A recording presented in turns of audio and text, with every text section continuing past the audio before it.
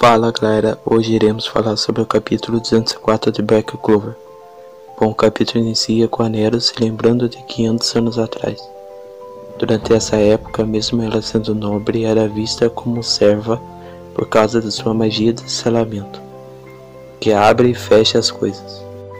Então vemos o primeiro rei mago jovem chamando a Nero pelo seu verdadeiro nome que é Sek. Ele se impressiona ao saber da magia da Nero e deseja trabalhar com ela. Nero então revela que pode adicionar magias aos objetos e junto com o Rei Mago criam ferramentas mágicas. Nero então vira amigo do Rei Mago e descobre que ele e a Tétia ficaram amigos dos elfos. Nero explica que a ferramenta mágica que ela e o rei criaram armazena magia e a distribui. Já as pedras mágicas dos elfos aumentam o poder mágico e se conectam ao outro mundo.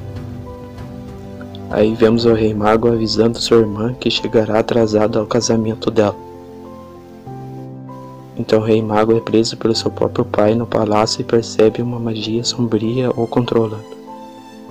O rei mago percebe que essa é a existência de outro mundo, assim como nos livros em que leu.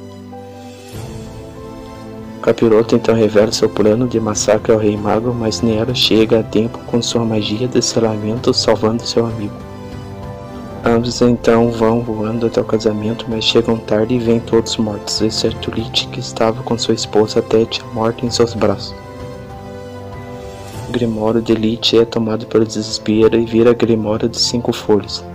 Lich fica feliz em saber que seu amigo Lumiere, que é o primeiro rei mago, não é traidor, mas Lich acaba sendo dominado pela escuridão e vira aquele demônio que aparece em todo o começo do episódio de Black Clover. Ele então pede para o rei Mago Lumiere unir todos os povos e clãs e que ele o mate, acabando assim o capítulo. Enfim, espero que tenham gostado, deixe seu like, se inscreva no canal, valeu, fui nós.